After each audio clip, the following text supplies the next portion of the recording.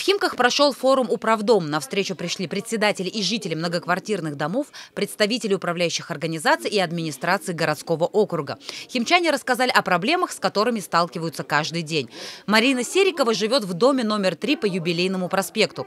Раньше была старше по дому, привычка бороться за улучшение условий осталась. Не пропускает ни одного форума. Пришла в надежде, что в ее доме закончат ремонт. У нас проблема с 2017 года. Значит, в рамках ремонта подъезда подъездов наш дом был включен э, в капитальный ремонт. У нас одноподъездный дом, на это были выделены деньги. И, в общем, нам обещали много.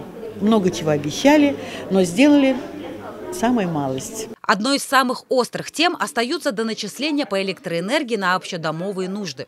Заместитель главы администрации Дмитрий Чистяков отметил, что проблемы существуют уже не первый год и предложил создать рабочую группу для поиска выхода из этой ситуации. Актив жители, Зульфия, депутаты, два-три человека. И мы с вами, э, я как заместитель главы, уже э, предприятие соответствующее, наши коллеги из э, инспекций, мы с вами спокойно, в спокойной обстановке, в зале, с документами, с протоколами, с мыслями, с планами в рамках рабочей группы будем обсуждать на заседании также обсудили подготовку округа к зиме и переход на прямые договоры с ресурсоснабжающими организациями. Форум проводит раз в три месяца. Принять участие в нем может каждый. Вся информация на сайте Ассоциация председателей советов многоквартирных домов Московской области.